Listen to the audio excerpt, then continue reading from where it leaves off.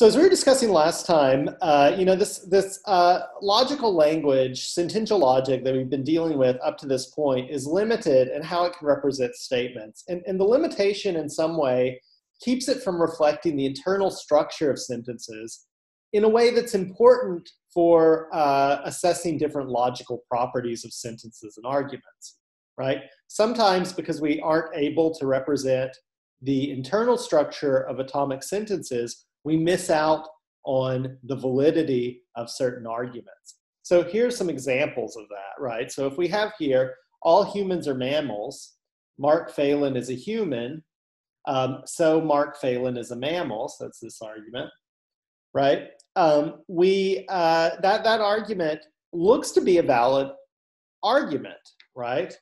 And so on um, Wednesday in your group work, I had you think about arguments like this. And we can see that this thing is valid uh, because, you know, essentially what it's saying is the first sentence is saying something like this all, thing, all humans are mammals, so all H's belong in the category of M's, all humans are mammals. And then it's saying Mark Phelan is a human, right? So there's an individual here, MP. And then um, it follows from that that Mark Phelan is a mammal. If all of the humans are contained within the mammal category and Mark Phelan is contained within the human category, then it must be true that Mark Phelan is a mammal. Right? So this is a valid argument. It's not possible for those premises to be true without the conclusion being true. But if we try to represent this thing using sentential logic, what we end up with is actually just this.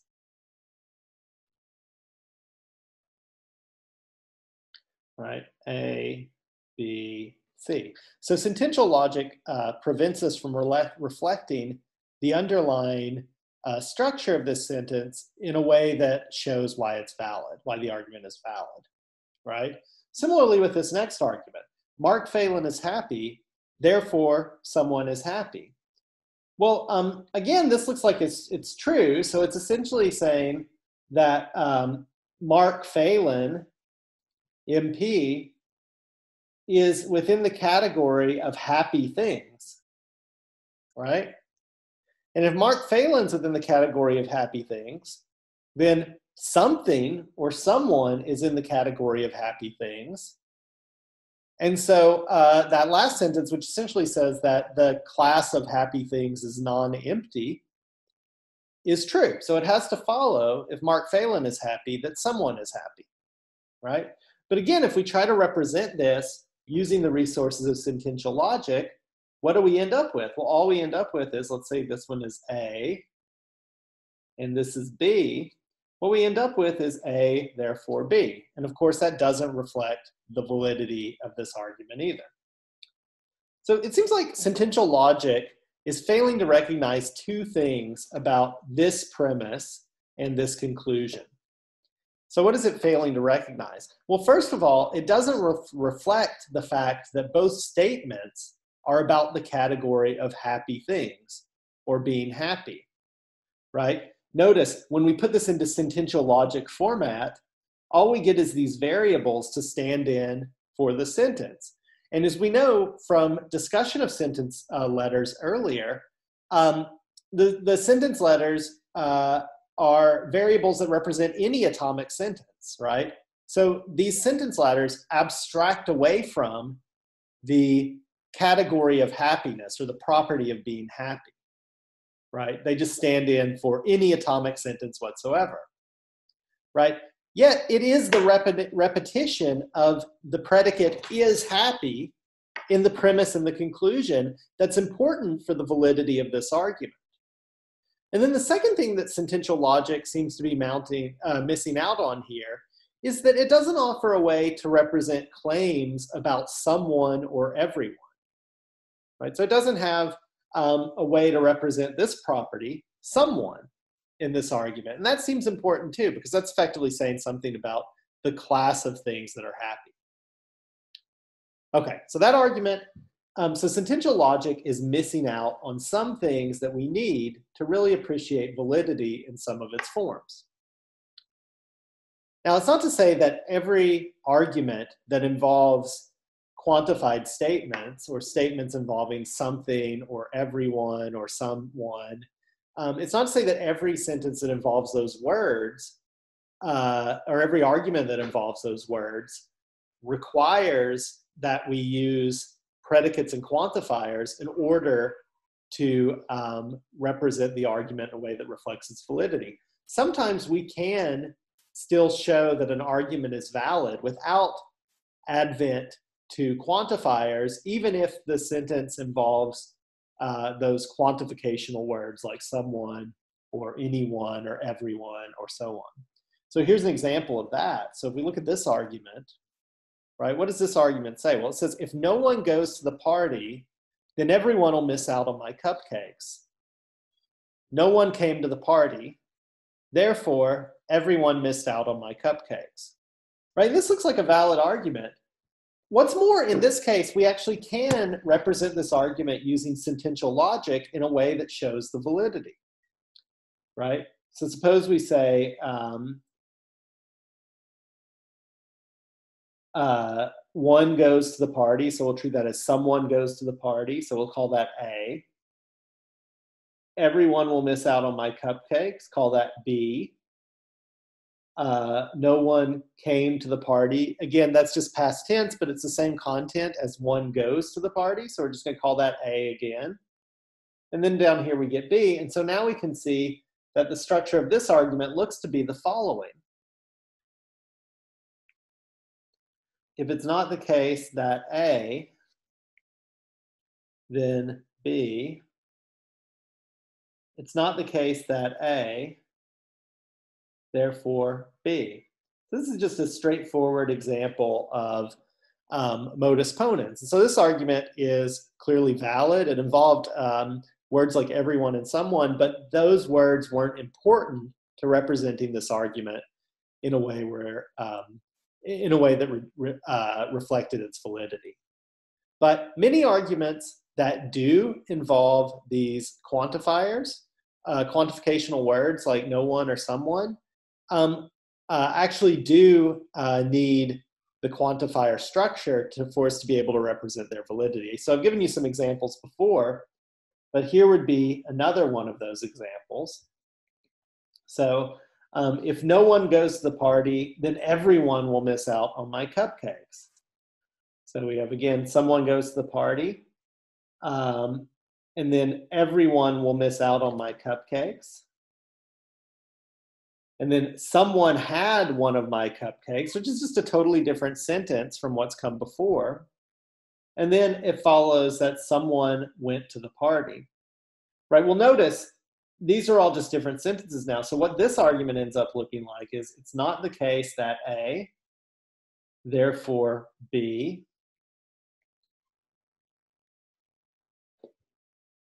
um, C, therefore D.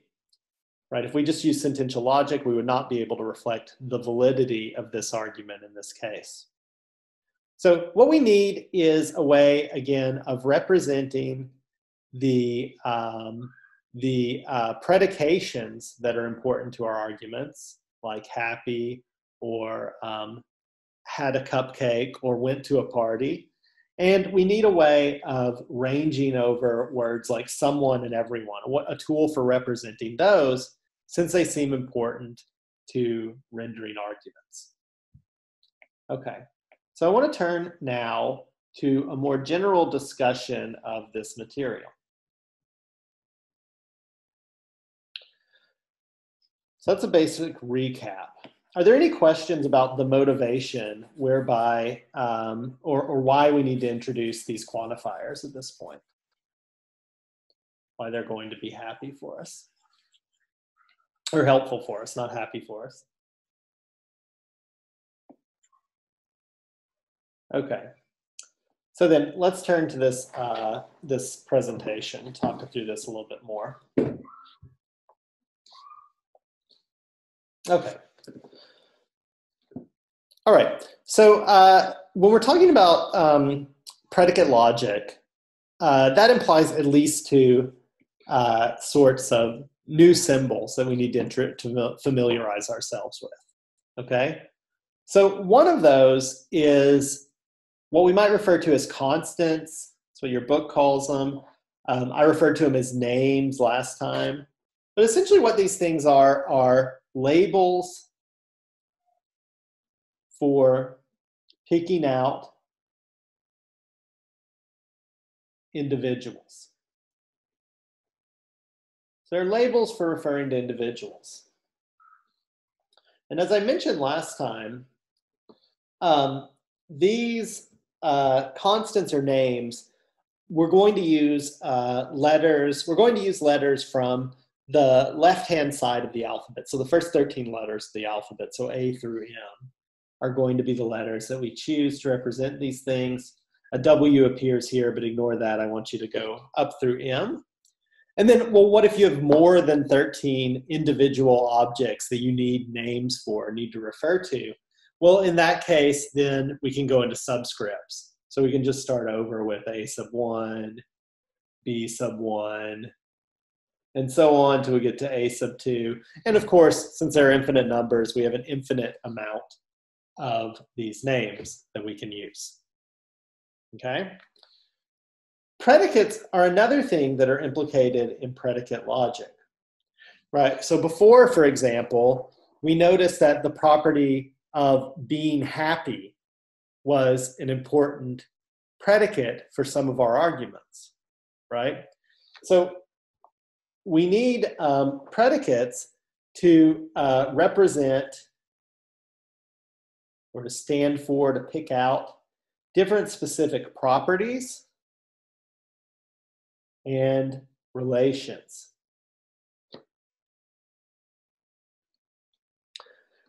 Okay, so notice predicates refer both to properties and relations. Okay, so for example, if we have H sub A or H sub M, this might stand for Mark is happy.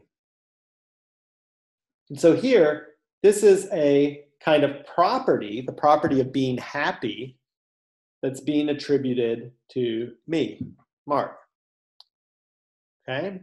So predicates can represent properties, but they can also represent relations between items. So for example, we could have the predicate uh, loves, right? So we might have um,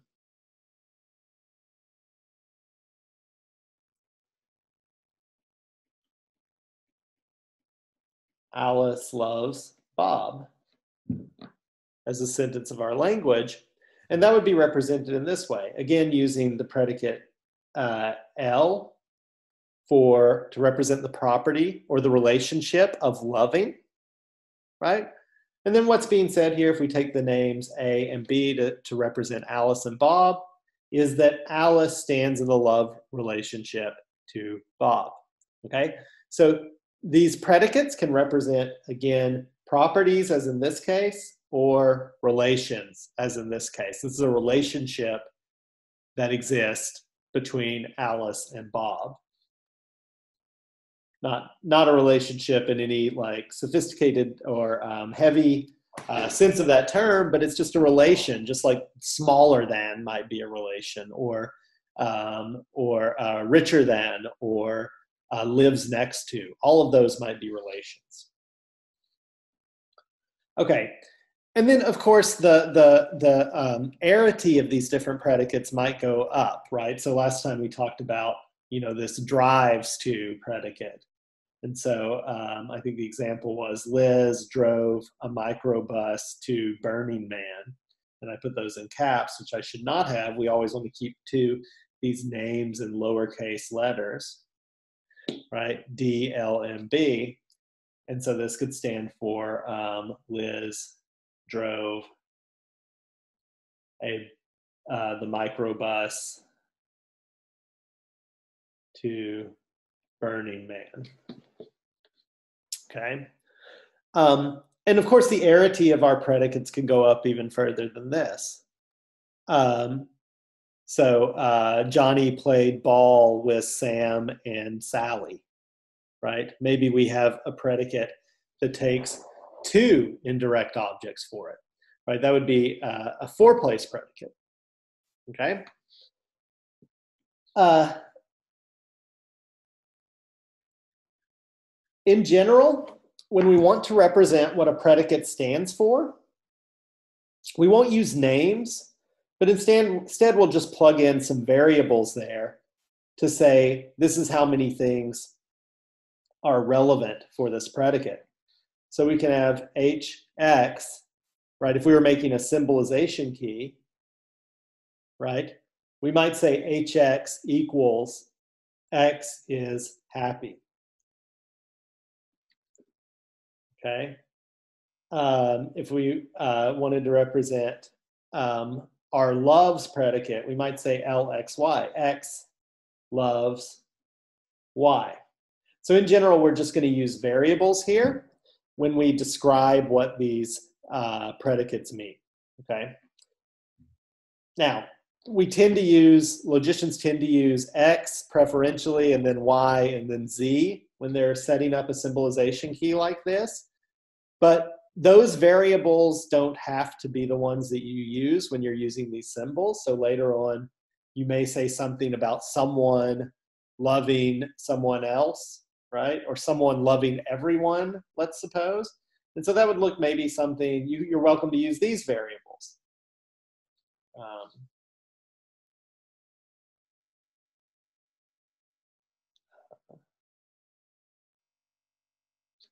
I keep using caps.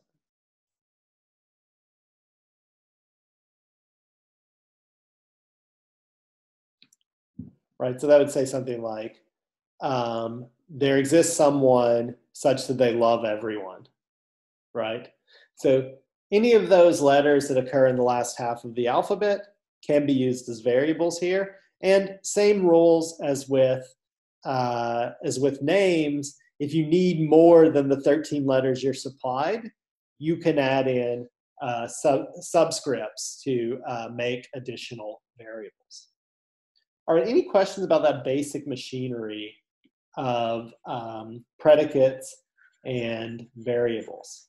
Sorry, predicates and names. Okay, so let's go on. Okay, so now, looking back at our previous arguments, you know, it was important that we represented the predicate in those different arguments. It was important to the argument someone is or Mark is happy, therefore someone is happy, that we that we talked about the happiness relation, right? But that argument, and indeed many arguments we'll see in symbolic logic, also depend upon quantifiers, right? It said if Mark is happy, or, or it said Mark is happy, therefore someone is happy. And that notion of someone is what I'm calling a quantifier here. Okay? Um, so why do we need these things? Why do we need these quantifiers uh, that range over um, all different objects or some object within a domain? Well, the reason is that um, we can't simply represent all of the sentences that we need to represent for logical purposes using our connectives, names, and predicates, right? So for example, here we have uh, the predicate hx, which stands for x is happy, and we have several names here. N equals Neil, P equals Patty, and O equals Omar. Right, so how do we, using these resources, say everyone is happy, right? Well, if the only people that are in our world are Neil, Patty, and Omar, we might attempt to represent everyone is happy with these resources by writing this, right? By writing um, H sub n or HN and HP and HO.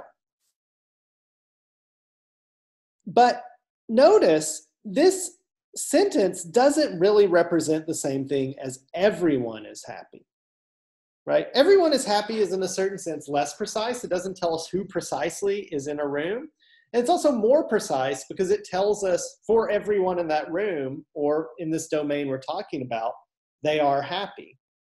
So we need not only a means for representing individual objects and their properties, but also for making these more general statements about everyone in a certain domain. So we need quantifiers to allow us to represent things like everyone is happy.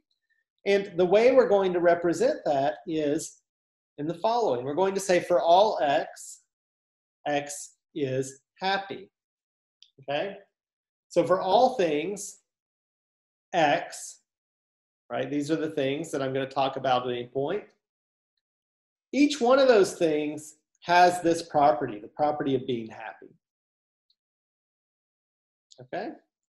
So we can translate everyone as happy as for all x, happy x.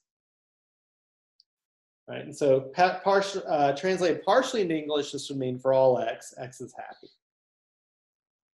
Okay, so our universal quantifier is going to allow us to make these general statements, right? And it's important to note that it consists of two parts. It consists of the quantifier, right? In this case, all x for all things x, right? And it also uh, consists of a certain sentence that falls under the scope of that quantifier. Okay? Um, so notice that the quantifier statement here consists not only of the quantificational symbol itself, but always, if it's going to be well formed, it needs to have some variable attached to it. Okay? So when you use the universal quantifier, or indeed the existential quantifier, any quantifier, you're going to need to use a variable to say which gap or spot in the predicate the quantifier applies to, right? So this is telling us that the quantifier, the universal quantifier applies to any individual that ends up being represented with X later on. Okay, so the all applies to that part of the predicated statement that occurs after the quantifier. Okay, like so for example, if we had all x, h, um, x, b, right? And suppose now that that h stands for hates, okay, which is a two-place predicate well, all x, right? The all here is only going to apply to the h that is in the predicated statement, right? So we're saying for all things h, x hates b, right? So we're saying all the x's hate b. But we're not saying anything about all the b's. For one thing, B is a name, so it refers to a specific individual. Okay? So that X just functions to tell us where we apply the universal quantifier, where we apply the all. Okay, so that's what the X is doing. Additionally, we will speak of a predicate as, um, sorry, we'll speak of a quantifier as applying to a predicate or more than one predicate even. Okay? And we'll say that whatever predicates the quantifier is applied to, and again, this thing is a predicate, whatever predicates the quantifier is applied to are within the scope of that quantifier. Okay? And the quantifier, if it has the same variable, um, as a variable that occurs in the predicate binds, we'll, we'll speak of it as binding that space in the predicate, right? So the universal quantifier here binds x and does not bind b. Okay? This is just to let you know on uh, some of the terms that I'll be using as I talk about these things. I think you'll get grow more accustomed to them uh, as we go along. Okay. So with this statement, for all x, hx, in effect, what this universal quantifier is saying is any name you plug in for x in this predicate will render a true statement. Okay? So if I say for all x, hx, in effect, what I'm saying is any name you plug into the predicate h will give us a true statement. If you plug in b, we'll get a true statement. If you plug in a, we'll get a true statement. If you plug in c, we'll get a true statement, and so on. So that's in effect what our universal quantifier is saying. And that's why it's called the universal quantifier. It's saying um, universally, whatever individual you plug in here, you'll get a true statement. Every individual in the domain we're talking about satisfies this predicate. This predicate is true of them. Okay, are there any questions about that? I know that's a lot of material, a lot of uh, terminology coming at you, but it'll start to make more sense as we move along.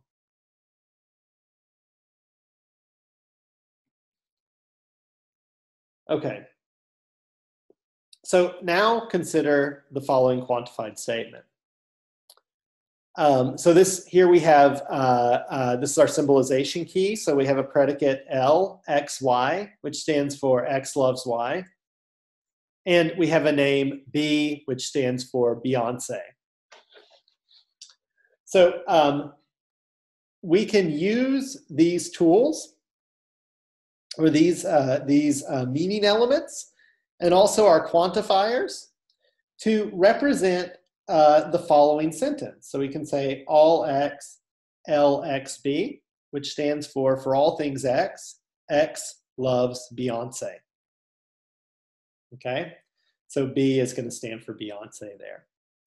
So again, for all things X, this quantified statement applies to any X that occurs in here. In other words, any name we can fill in for X we should generate a true statement. In addition to our universal quantifier, we also have an existential quantifier.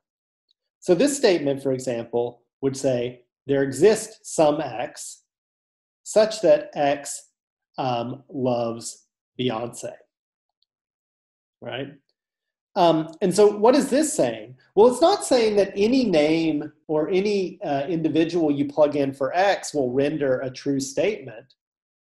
Right? It's not saying, like, if we're talking about some world, it's not saying that every one of these things, you know, uh, it plugged into here is going to give us something true. Right? But it is saying that there is some individual out there, and maybe this individual is that individual there's some individual out there for who it is true that they love Beyonce. Okay? So the universal quantifier, if there was a universal quantifier here, that thing would say that any one of these you plug in will give us a true sentence. The existential is just saying there exists some individual out there for which we will get a true sentence if we plug that individual into the X spot. Okay, questions about any of that?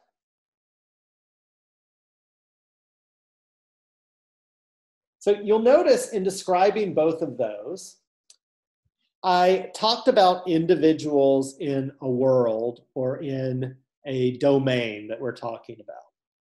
Okay? And so this brings us to uh, the last key component for thinking about quantified statements, and that is a universe of discourse. Right now, it can't be that um, every uh, right. So, so um, typically, if we have a statement, right, like um, the following: all the beer is gone right? Imagine that, uh, you know, um, I'm throwing a party and I walk to my party, I look in the fridge and I say, all the beer is gone. Well, uh, presumably you think I'm speaking something truthfully, right? And I may be speaking something truthfully in that case. But if I am, it's not because all beer has ceased to exist in the universe. It's because all the beer in my fridge is gone right? So typically when we talk, even if we make these kind of quantified statements about everything or something, we're not really talking about everything simpliciter or something specifically in the universe in general. Instead, there's always some specific domain of individuals that we're talking about, or there generally is. We don't generally mean everything in the universe. Okay? So, oftentimes, in assessing whether or not a sentence is true, we need to be mindful of what the universe of discourse is. What are the things that we're talking about? Right? If the universe of discourse is restricted to my refrigerator, then this claim may be true. But it seems to be false if our universal universe of discourse is the whole world. Okay? So every quantified claim is going to be assessed relative to some universe of discourse. And you need to include this idea of the universe of discourse, the things we're talking about, within your symbolization key. Typically, when you and I are discussing something or we're talking, and there is a way in which my uh, claim is supposed to be restricted to a specific reference class. The way in which you know that restriction for my claim is entirely contextual. It's because um, of uh, the kind of context that we're in that's going to specify what this is. It's not entirely contextual. I may say, uh, you know, I may make it part of the semantics. So I may say at the beginning of our discussion, consider all of the students at Lawrence. In that case, I have explicitly determined a universe of discourse, right? But oftentimes we'll know the universe of discourse not because I've explicitly stated it, but because of contextual cues that we've used, like me standing in front of my refrigerator uh, saying all the beer is gone. The contextual cue there is where I'm located and what I'm looking at. Okay? But of course, in logic, we want to be very precise about what we're talking about. So again, you need to add UD and specify what the universe of discourse is for the domain that you're talking about. Okay, so what do you say with the universe of discourse is? So in this case, it might be things in the fridge. And really, the most uh, helpful way to lay out a universe of discourse is not by thinking about uh, so like a gap of space or something. Like, so I wouldn't say the universe of discourse is the fridge typically. I would say, talk about objects. I would say the stuff in the fridge. Okay, so going back a little bit, if we think about this sentence, for all x, um, lxb, this sentence um, may have very different truth values depending on what the universe of discourse is. Um, if the UD equals uh, people in the world, this sentence is presumably false. But if uh, the universe of discourse equals members of the Beyonce fan club, then presumably, or at least perhaps, this sentence may be true. Okay? So the domain of discourse is going to make a difference as to what's true or not. Okay, so bearing this in mind now, well, first of all, are there any questions about any of this material so far?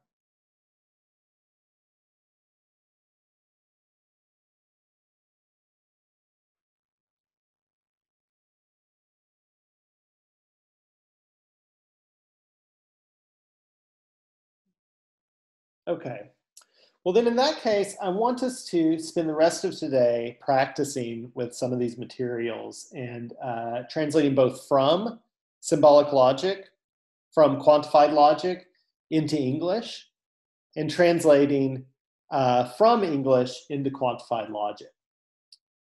So the first thing I want to do is think about these example arguments before. So there are a variety of different um, sentences that we had here.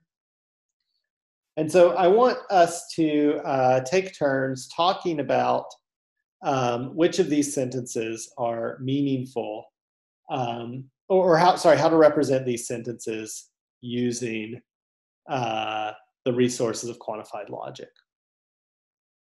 So let's see. So I think our participants today are um, Owen. So I'm going to put a little O here. Um, just looking at these from uh, what I have presented to me. Um, Sam, that's going to be you. Um, Nicole, this will be you. Simon, that'll be you. Callista, that's you. And Abby, that's you. And then we'll flip over. O S N A O S N. Shit, sorry. Um,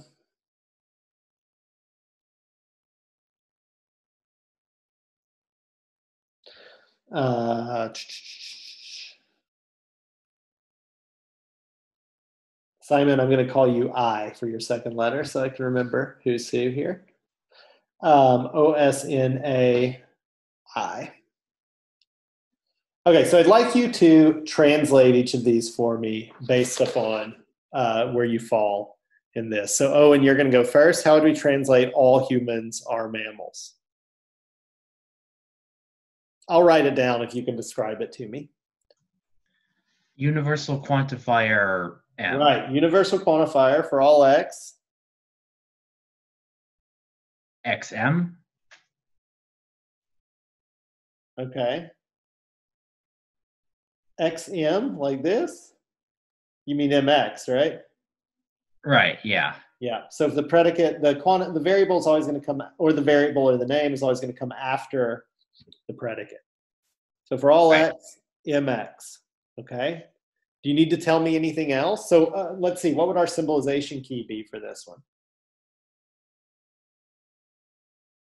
What does mx stand for? Is a mammal.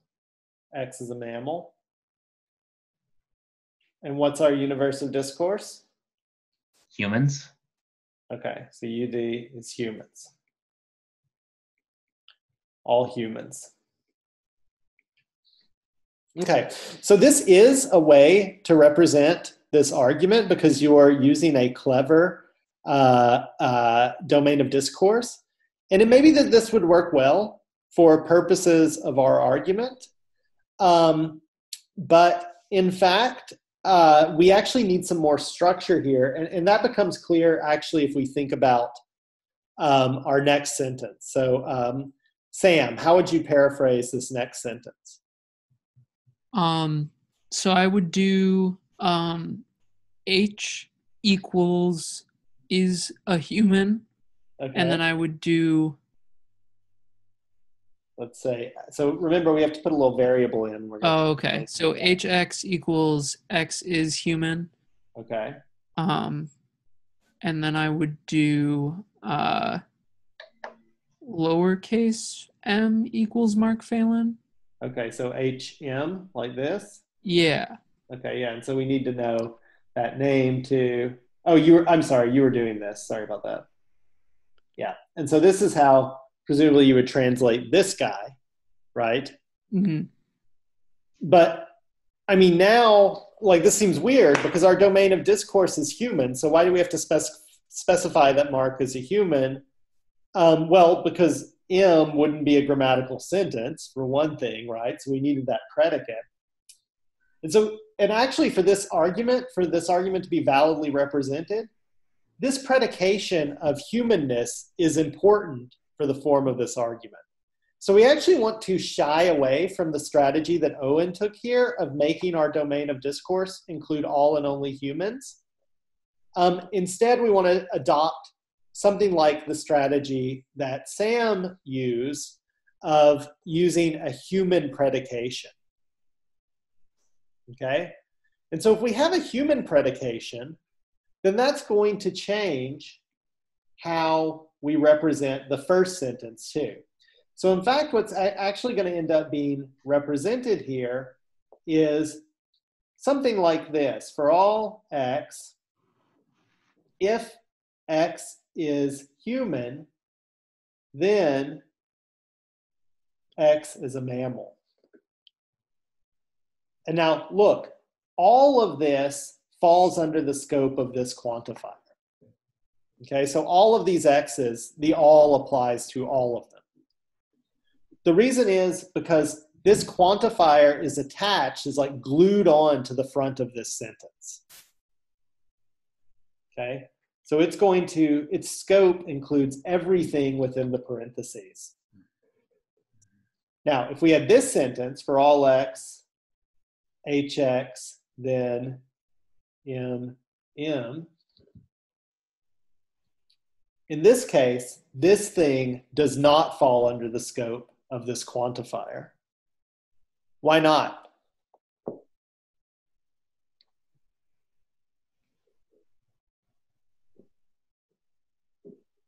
Can anyone explain that? Why this thing doesn't fall under the scope of that quantifier? Because it has a different subscript? Right. So so you might think it's because it doesn't have because it has this thing here because it uses a different um, uh, it uses a constant instead of a quantifier. But also in this case, because it's not under the parentheses like the above one. Right. Because it's not it's not part of a sentence that this is directly modifying. Right? So you might think of it on the model of negation. Right? If we have negation hx, this means it's not, if it's not the case that hx, then m. Whereas this thing means it's not the case that if hx, then m. Right? So quantifier rules are going to bind in the same way that negation binds. Quantifiers are going to bind just like negation binds. They're going to apply to the same objects. The, I mean, the same spread of objects that occur after them as negation would. Um, in fact, this sentence that I just wrote out, all x, hx, then mx, is not uh, a well-formed formula. It's not a well-formed sentence because we have an unbound variable. This x isn't bound by any quantifier. That's why I changed it to m before.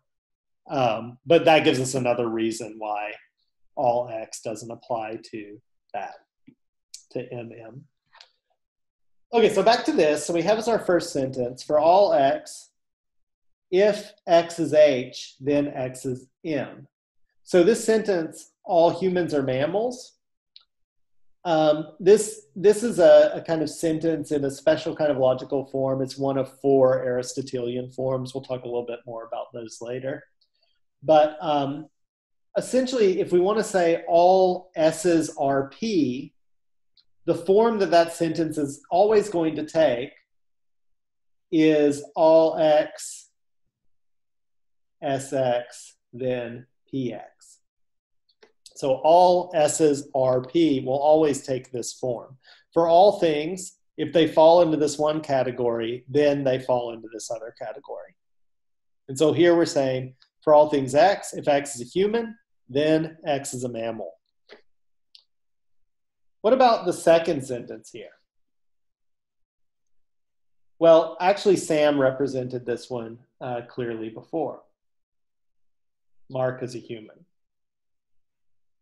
And then what is our conclusion here? Uh, Nicole?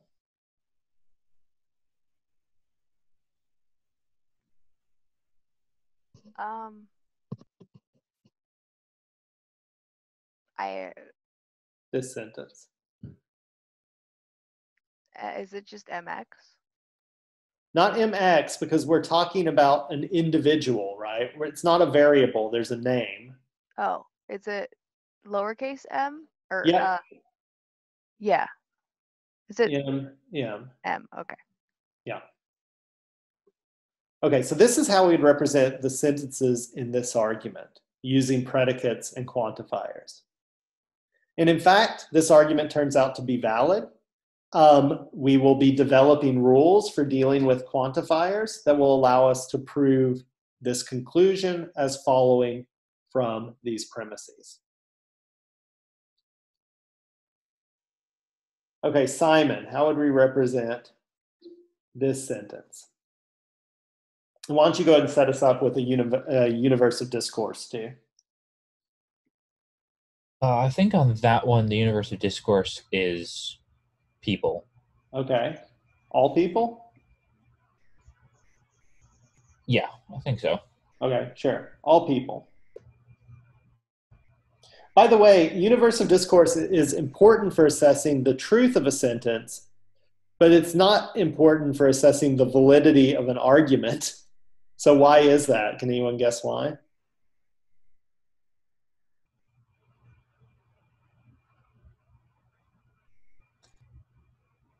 Because if the argument is valid, the validity of an argument means that it is true regardless of the universe of discourse. Right, exactly. Right. Universe of discourse is akin to a world.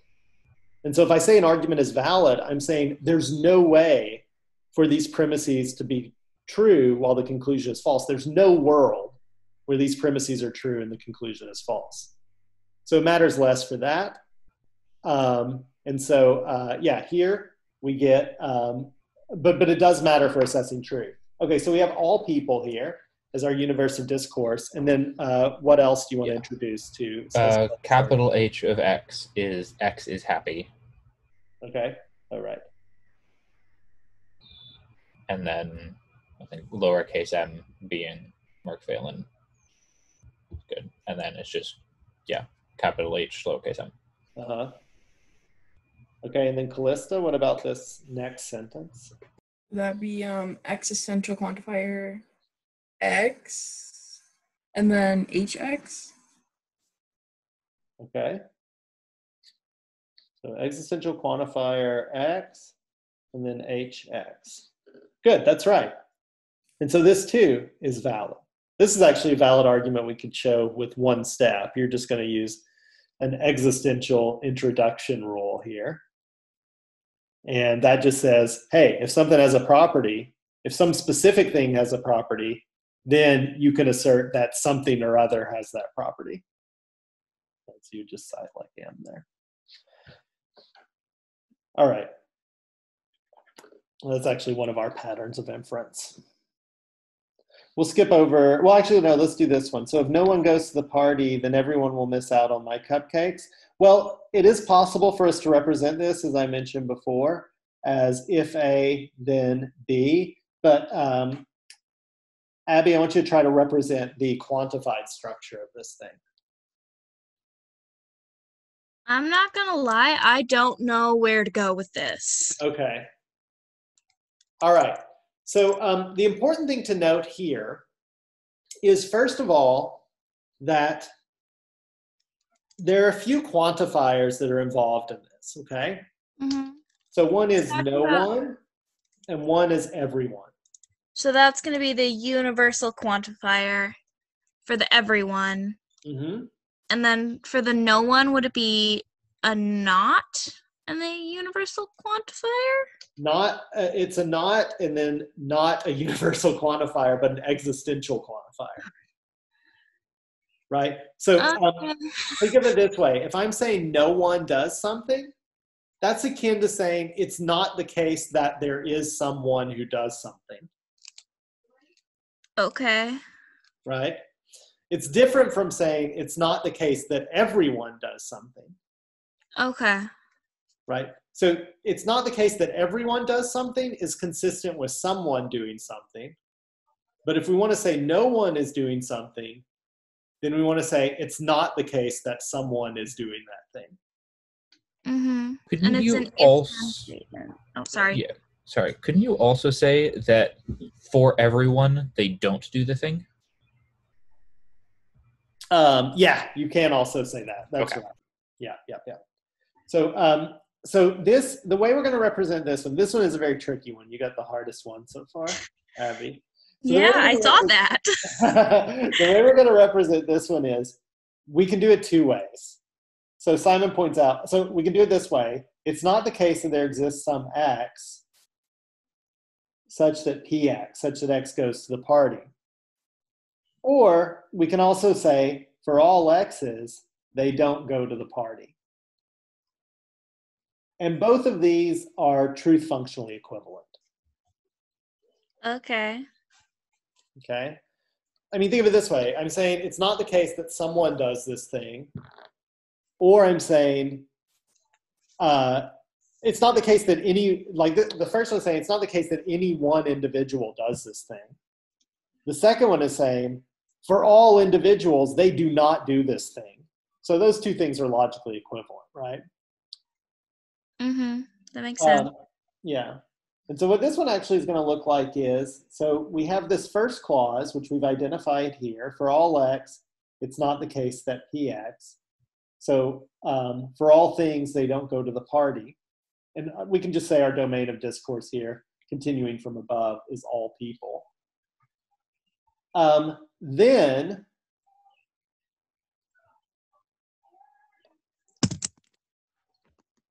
now we have another quantifier built in here for all y, my. Y misses out on my cupcakes. Mm-hmm. And so that's how we would represent that one. Okay, what about no one came to the party, Owen?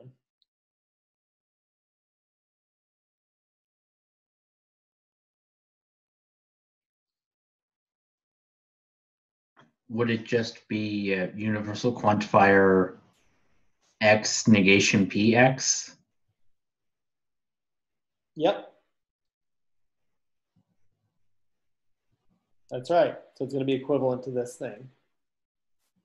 And then this would be what?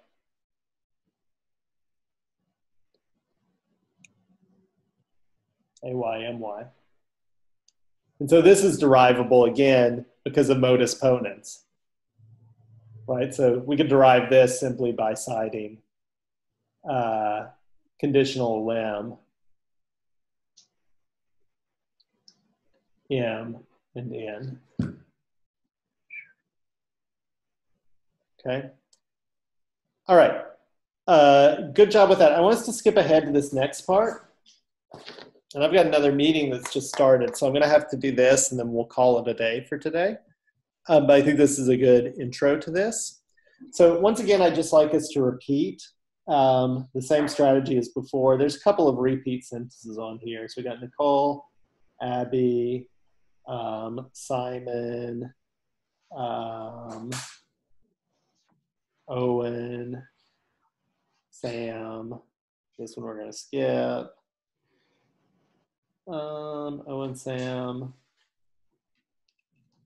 Nicole. Actually, let's skip over this one too.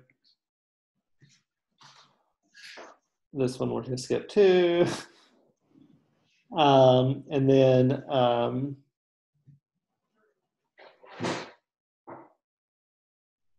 wait, actually, leave that one in, leave that one in. We're going to skip over this guy.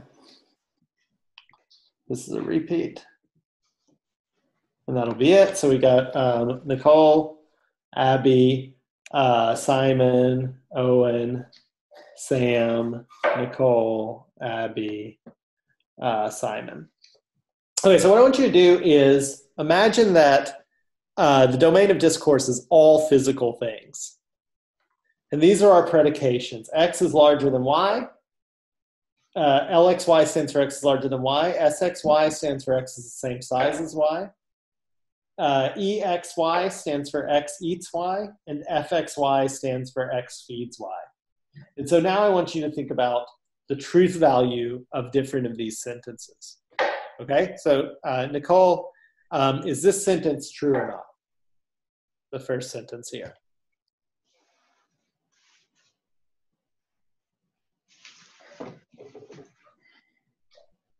And you might, if you if you want, um, you can try to read out the sentence to us and explain what it means.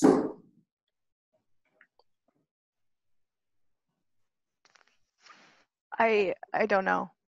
Okay, so let's try to walk through this stepwise. All right. So how do we read this part? For all x. Okay, for all x, Good. And so then for all x, how do we read this? But there's oh x is the same size as x. Yep. Okay. Is that true? Yeah, I think Yeah. so. Because what does that mean in ordinary in ordinary English? All if something is the same size as itself. Yeah, everything is the same size as itself. Right? So it's not just something, it's everything that that's true of. Right? So that sentence is true. Every physical thing is the same size as itself. Okay, Abby, what about this one, the next one? Okay, um, so it's saying there exists at least one X Uh huh. where it's not the case that it's the same size as itself, Yeah. Perfect. Is that which is false That's false. because everything's it can't have two sizes. Right. Exactly. It's kind of the opposite of the sentence that we have above, right? Mm-hmm. Mm-hmm. Um, right, this is actually to Simon's point earlier. Um, we could uh, represent the same thing by writing it's not the case that for all x, s, x, x, right? All right. Um, Simon, what's this one? Is this one true or false? I can zoom in a bit if it's. Uh, let's see. That one is saying that for all x and y, if s is or if x is the same size as y, then y is the same size as x. Yeah, that's true. Yep. For all things, x and y, if x is the same size as y, then y is the same size as x. Okay, Owen, what about this one?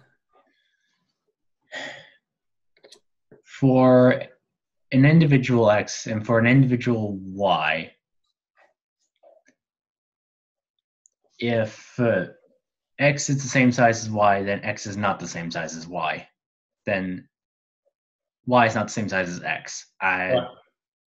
don't see how that can be true. Right. Right. This is, I mean, um, you said for an individual. I find it a little more natural to say there exists something X and there exists something Y, right? So it's saying that, they're just out there, there's this pair of individuals, X and Y.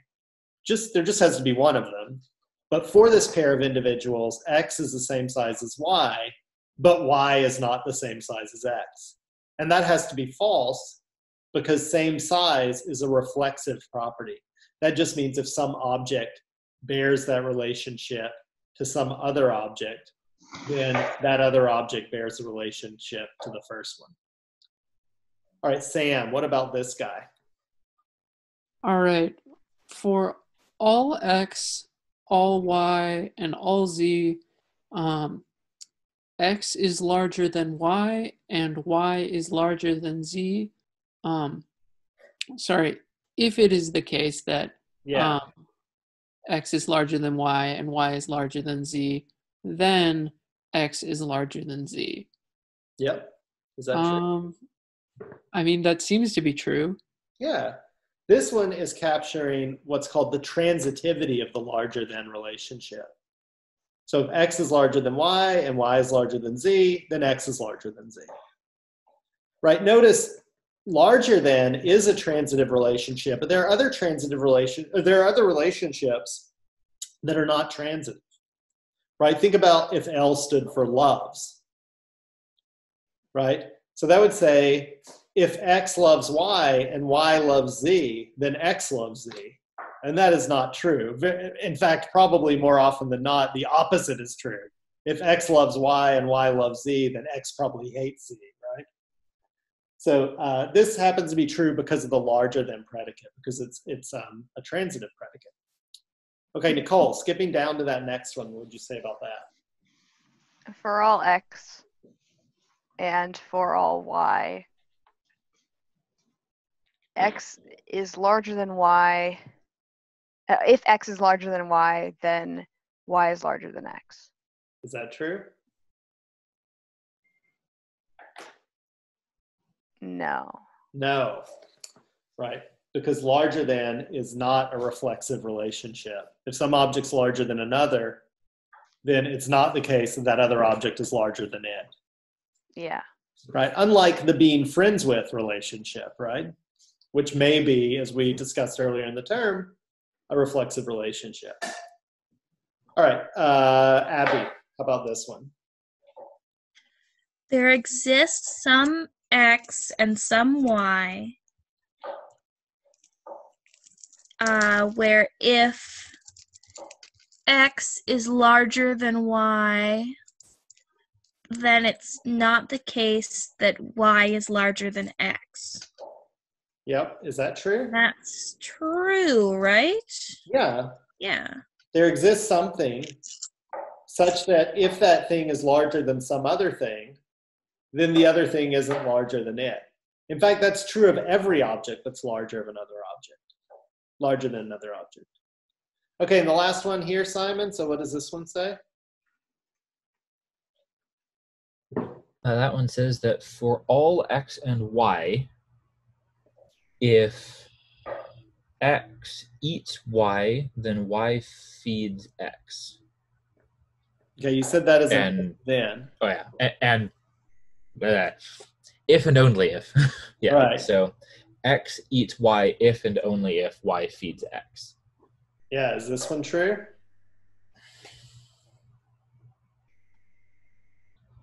For me, that depends on the definition of feeds.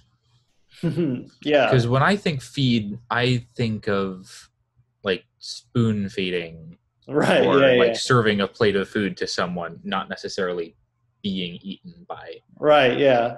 Well, I think the So issue is. I would say no, Yeah. based on my definition of feeds, but I could see a way in which that would be true. Yeah. Yeah, you're right. I mean, there are two different senses of feeds that are in play here. Like if we're using feeds in an unrestricted sense, where it takes in both of the meanings for that predicate, Yeah. then uh, this is not true because, for example, well, it's certainly true that, um, you know, if uh, I eat a pizza, then the pizza feeds me, right? Yes. But it's not true that if I feed my cat, then my cat eats me, right? Yeah. Because I fed my cat this morning and I'm still here. So uh, it seems that it goes one way, even if we take a like broad scope or a broad meaning for feeds where it sweeps up both senses, but it doesn't go the other way. So it's not going to be biconditionally true. The biconditional won't hold.